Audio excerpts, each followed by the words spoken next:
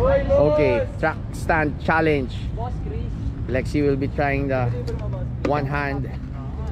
She's been challenged by these two guys. Okay, let's see who will stop first. These two guys. No, we're just having fun. Anyway, these two guys is the challenger. Okay, Godwin and Floyd.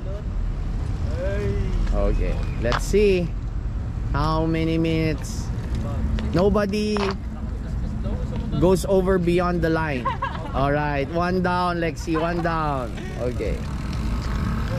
How does this look like?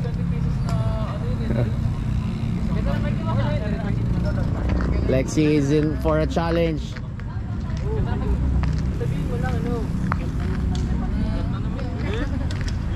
Okay, close to one minute. One hand, Lexi. Ah. Okay, one hand. Godwin, one hand. Oh. Alright. Okay. One minute, 15 seconds. Okay. oh. Okay, continue, Lexi. Make it 3 minutes for the video. Alright. Good lang yan. okay, try mo one hand. Okay, good. Try to go beyond 3 minutes. Facebook videos needs to be at least 3 minutes. Alright. For you to uh, monetize Facebook videos, you need at least 3 minutes. We just finished our training for the day. Okay. Actually, uh, track stand is not about just staying in one place.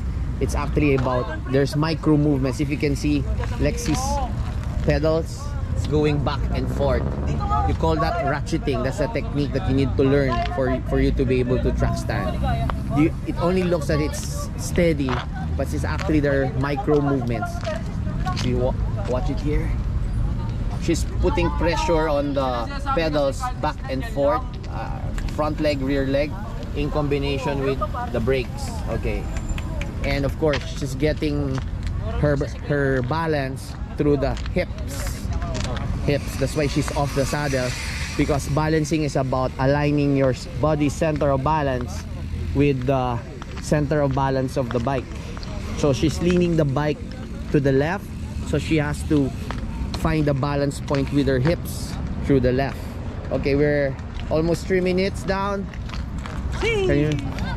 That's that's how you. Anyway, we're gonna make a uh, a how-to video. Watch out for this. We've been receiving a lot of messages uh, asking for a how-to video on the track stand. So uh, this week, I think we'll be able to do that video. Uh, I will ask Lexi to to uh, teach, to give instructions. As I mentioned uh, earlier, track stand is really about using uh, the ratcheting technique the same time angling your front tire like this one to make it more uh, uh, wide. And of course application also of the brake in combination with the ratcheting and the hips. So it's uh, it takes a lot of practice.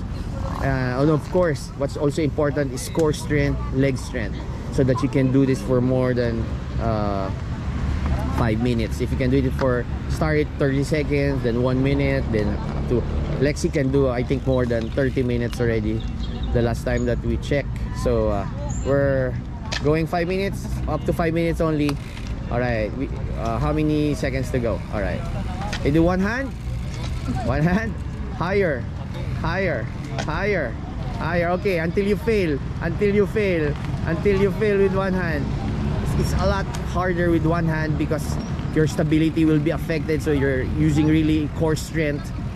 Okay to up we need 25 seconds to go. 25 seconds to go. 25 seconds to go. Lexi 25 third okay 20 seconds to go. That's core strength in action there. Okay. And uh, okay 15 seconds to go. Wait 15 seconds to go you have already your content for the day okay Finger heart, finger heart. all right five me wait wait don't do uh, ha. you have a final final no okay no hands no. no. Alright, alright. Oh! No hands. Come on. Okay, okay. Ju- just kidding. Just kidding. Thank you, Lexi.